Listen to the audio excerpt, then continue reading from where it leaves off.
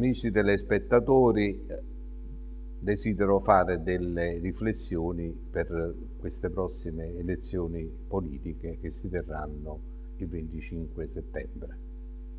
La cosa può sembrare strana, ma questa è un'elezione, tra virgolette, truffa, perché già si sanno al 100% i senatori, perché ovviamente sono degli schieramenti o di centrodestra o di centrosinistra, dove praticamente eh, già si sa in quella zona, in quel collegio, chi viene eletto.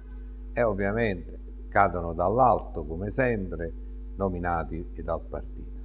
Per quanto riguarda i deputati, eh, dicono che è un sistema proporzionale, ma sinceramente i 400 deputati vengono eletti sì con un sistema proporzionale, ma è un falso sistema proporzionale, per non dire che è una truffa, sempre tra virgolette, perché si vota il, il simbolo del partito e, ovviamente è inutile mettere quattro nomi quando già si sa che se va bene quel partito prende solo un deputato e si sa benissimo che il deputato che esce è quello che sta al posto numero uno. Quindi è, è inutile cercare il voto, già si sa.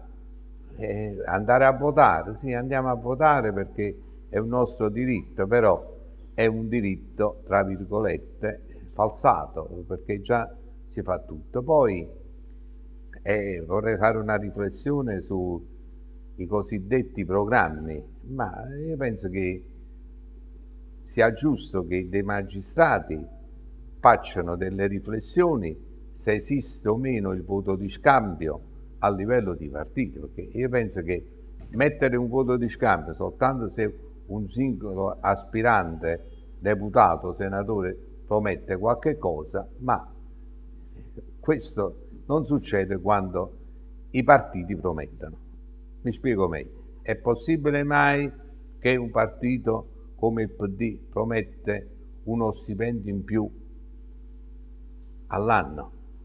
È possibile mai che si promettono costruzioni enormi di, eh, eh, a livello di ponte sullo stretto, che poi succede sempre lo stesso, altri posti, altre situazioni, sembra proprio che si stanno prendendo proprio per i fondelli. Quindi questa riflessione è, va verso chi sta promettendo milioni di posti di lavoro, stipendi. Io penso che a questo punto eh, dobbiamo fare una buona riflessione sul reddito di cittadinanza.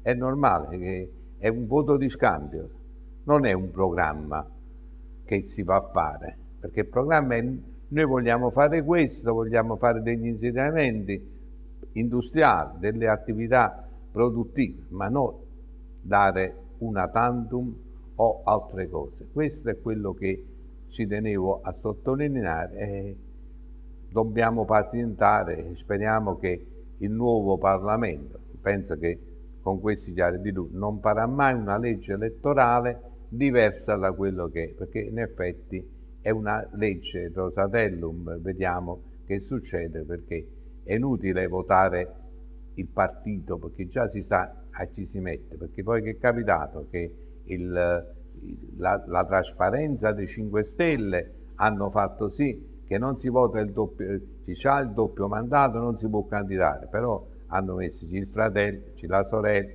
la moglie, eh, l'amica eh, e quindi non si va da nessuna parte con questi chiari di luna. Alla prossima.